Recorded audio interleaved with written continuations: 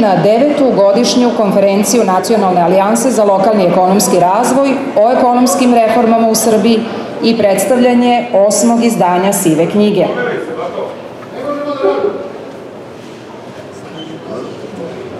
Današnji skup je prilika da napravimo malu retrospektivu zakonodavne aktivnosti na stvaranju boljih uslova poslovanja tokom 2015. godine i definišemo prioritete za godinu pred nama.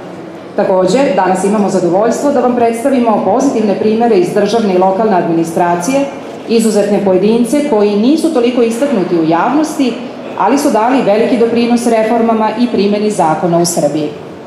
Na početku, u ime domaćina, obratit će nam se potpredsednica Upravnog odbora Naleda, Ana Brnabić, koja će nam reći kako NALED ocenjuje reforme u 2015. i šta je to što privreda, lokalne samouprave i organizacije civilnog društva okupljene u NALED-u žele da predlože novoj vladi. Ana, izvolite.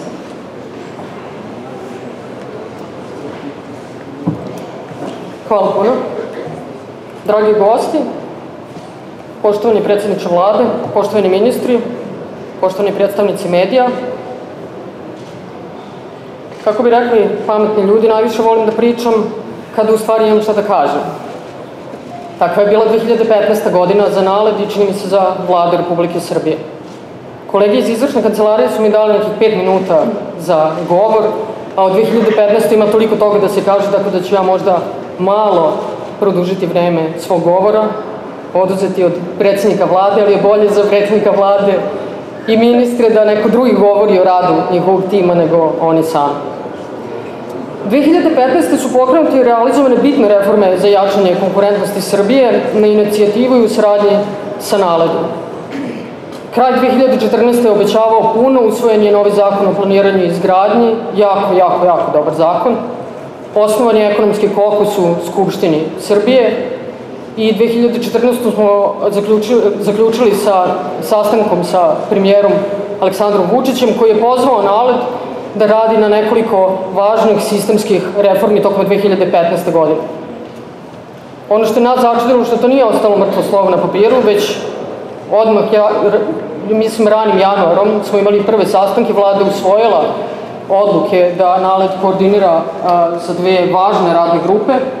Jedna je bila za nacionalni program za suzbijanje sive ekonomije, druga je bila za usvajanje i sprovođenje akcijnog plana za unapređenje pozicije Srbije na Doing Business liste Svetske banke i to su bili naši prioriteti tokom 2015. godine.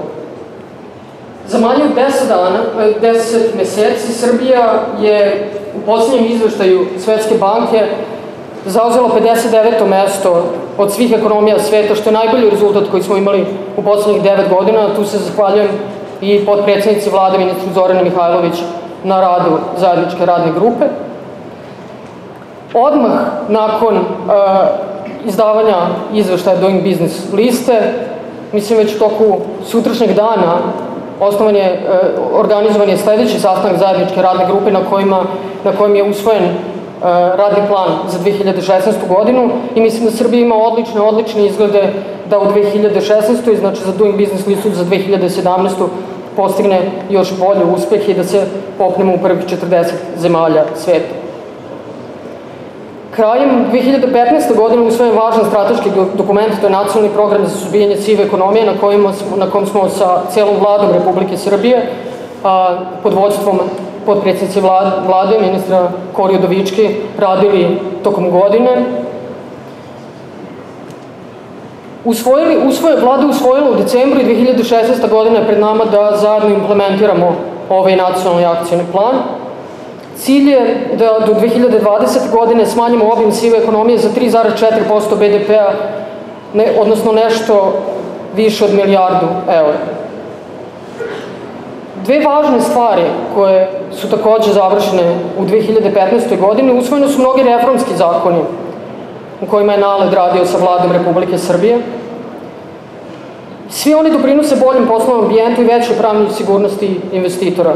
To je svakako zakon o planiranju izgradnje koji se implementirao 2015. Velika stvar zakon o inspekcijskom nadzoru, zakon o izvršenju i obezbeđenju, zakon o ulaganjima na kojem smo radili sa ministrom Sertićem.